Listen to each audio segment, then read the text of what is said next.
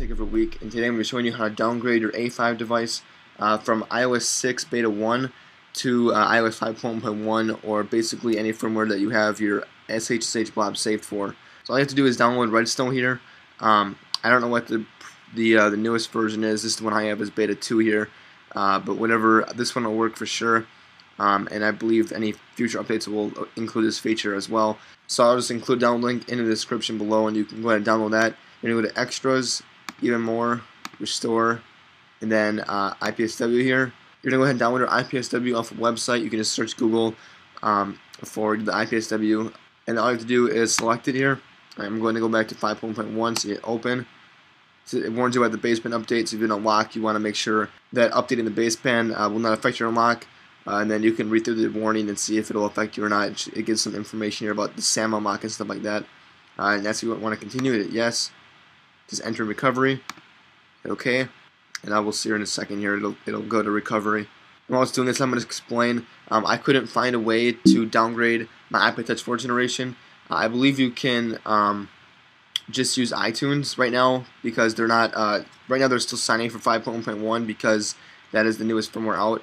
Uh, so I believe if you're on beta 1 with an A4 device, you can just go into iTunes and hold um, Shift Restore if you're on Windows and hold Option Restore if you're on Mac, and then just select 5.1.1 and it, and it should downgrade. I'm not positive that'll work or not, uh, but if it doesn't work, I believe you can also use iFaith, and iFaith pretty much stitches the SHSH blob into the IPSW file, and then you just restore that IPSW file using iTunes, and uh, I believe that's how that will work. I'm not positive that'll work or not.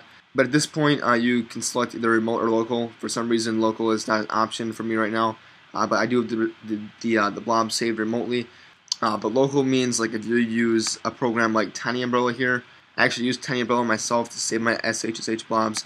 But if you do use Tiny Umbrella, just go ahead and go to folder, and then um, you have to locate this in Tiny Umbrella. It's going to open this up, and I'll show you how to figure out where it is located at on your computer. So here in Tiny Umbrella, you can just go to the Advanced tab, and it says Save SHSH Directory, and it gives it right there. Uh, then you just go to Finder, hit Go, go to Folder, and paste that directory right into there, and hit Go. And I got all my blobs saved right in there.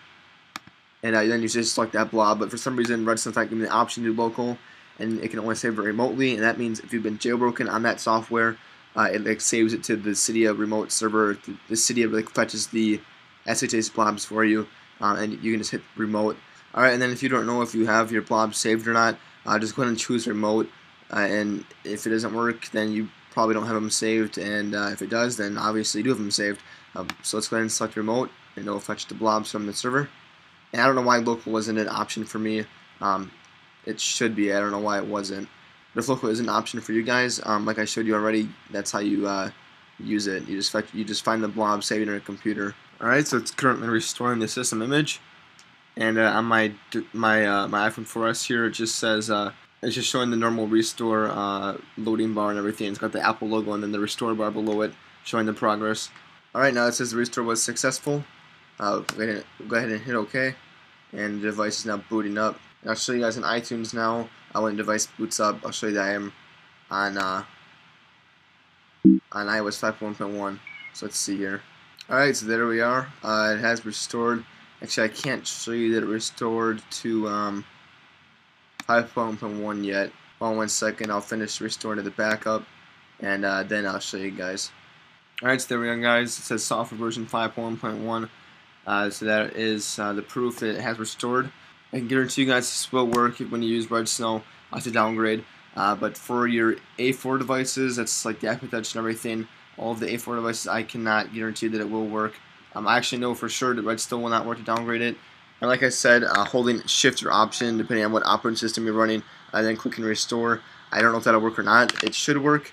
Uh, I don't see why it wouldn't work because Apple is still signing for 5.1.1, so you do not need the SHSH blobs to restore, so it should work, but I'm not positive it will or not. And like I said, iFaith uh, may work for this, but I don't know if it's been updated to work with the uh, the newer uh, iOS versions or not. Um, just going to research that, search Google or something because uh, I'm not positive on that either. Uh, but I hope this helped you out, guys, and I hope it works fine. If you guys do run any problems, uh, just go ahead and comment down below. Uh, actually, I'd prefer if you guys contact me on Twitter. Um, my Twitter username is the same as my YouTube username. iTechEveryWeek. Uh, Twitter is just a lot simpler to. If you guys need help, you can just mention me on Twitter. Um, the comments on YouTube is very difficult to keep track of the conversation. I'm trying to help you out with the problem, uh, so I prefer if you contact me over Twitter. Uh, but if you guys want my future videos, go and subscribe at the top, and that'll notify when I release those videos. Um, we'll have more jailbreak tutorials and jailbreak news, and I pretty much just cover all the tech Apple stuff, um, all that kind of stuff. So if you're interested in any of that content, you want to just subscribe at the top. And I'll catch you guys next video. Hope you the rest of your day, and I'll see you later.